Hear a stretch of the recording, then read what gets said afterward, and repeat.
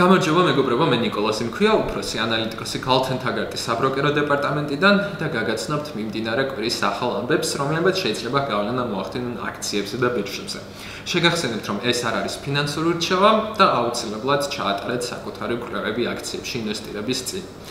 დავიწყოთ ამერიკის დასაქმების სტატისტიკით. წინა პარასკევს გავრცელდა NFP, ანუ Non-Farm Payrolls რეპორტი.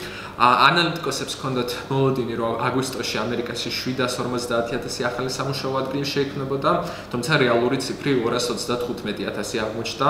საკმაოდ დიდი აცდენა იყო მოლოდინსა და რეალურ შედეგებს შორის, თუმცა ინვესტორებმა ეს რეპორტი საკმაოდ კარგად მიიღეს და S&P 500 ინდექსი გაიზარდა 0.32%-ით. Nasdaq-ი კი დაახლოებით 1%-ით უფრო მაღალ ნიშნულზე დაიხურა.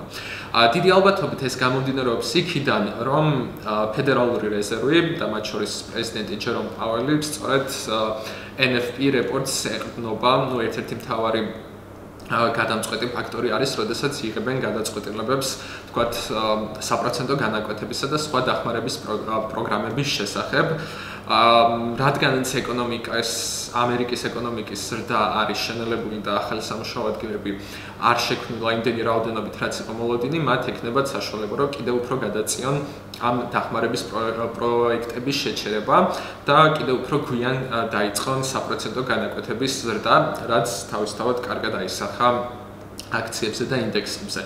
წინა კვირაში საუკეთესო სექტორი, რომელმაც საუკეთესო შედეგები აჩვენა, იყო real estate, ანუ უძრავი ქონების სექტორი და მაგალითად ETF-ი XLRE, რომელიც S&P 500-ის real estate სექტორის შედეგებს დასდასთან 4.01%-ით გაიზარდა. ხოლო ყველაზე ცუდი შედეგი ფინანსურმა სექტორმა აჩვენა და მაგალითად ETF-ი XLF-ი, რომელიც S&P 500-ის ფინანსური სექტორის კომპანიების შედეგებს დასდევსთან დაახლოებით 2.53%-ით შემცირდა. თუმცა ეს ასეთი შემცირების დროს შეიძლება კარგი მომენტი იყოს ამ სექტორში აქციების შესაძენად. რაც შეეხება საინტერესო ახალ ამბებს და მოლოდინებს, 9 სექტემბერს იწყება NFL-ის ანუ ამერიკული ფეხბურთის სეზონი. პირველი თამაში სწორედ სეზონის გახსნა 9 სექტემბერს იქნება და არსებობს ნოლოდინი რომ ამ სეზონზე გარკვეულ სპორტ ბეტინგ კომპანიებს გაიზრდება შემოსავლები აა გარკვეული კომპანიები რომლებიც შეიძლება ისარგებლონ NFL-ის სეზონის დაწყებით არის მაგალითად DraftKings-ი, ტიკერი DKNG ამ აქციებს 13 ანალიტიკოსი ხარავს და მათი საშუალო შეფასებით ეს აქციები შემდეგი 1 წლის განმავლობაში შეიძლება 15%-ით გაიზარდოს. ასევე sport betting კომპანიებში შეიძლება ვახსენოთ ესეთი კომპანია როგორიც არის MGM-ი და მათ აქციებს 5 ანალიტიკოსი ხარავს. მათი საშუალო შეფასებით ეს აქციები კიდევ 19%-ით შეიძლება გაიზარდოს შემდეგი 12 თვის განმავლობაში. და ერთ-ერთი ასევე კომპანია ამ სფეროში არის Caesars Entertainment, ტიკერით CCR. ამ აქციებს 7 ანალიტიკოსი ფარავს და არის მოლოდინი, რომ ეს აქციები კიდევ დაახლოებით 23%-ით შეიძლება გაიზარდოს შემდეგი 1 წლის განმავლობაში. ასევე სექტემბერში თითქმის ყოველ სექტემბერს სტარტდება Apple-ის ყოველწლიური პრეზენტაცია, სადაც ხდება ახალი პროდუქტების პრეზენტაცია, მათ შორის ახალი iPhone-ებისაც.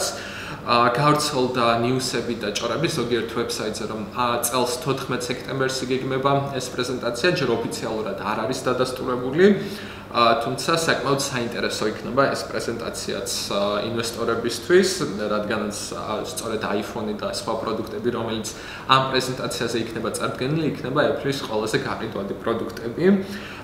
ისტორიულად Apple-ის აქციები კარგ შედეგებს აჩვენებს ივლისში და აგვისტოში, ხოლო სექტემბერში და შემდეგ რამდენიმე თვეში არც თუ ისე კარგ შედეგებს აჩვენებს ხოლმე. თუმცა ეს ყოველივე რა თქმა უნდა დამოკიდებული იქნება მათ პრეზენტაციაზე და რა ახალ ინოვაციებს გამოაცხადებენ. რაც შეეხება ასევე კვარტალური შედეგების გამოცხადებას, ამ კვირაში ისე გრძელდება ზოგიერთი კომპანიის კვარტალური შედეგების პრეზენტაცია, მაგალითად, ოთხშაბათს იქნება კომპანია GameStop-ის კვარტალური შედეგები, ასევე Lululemon-ის ტიკერით Lulu.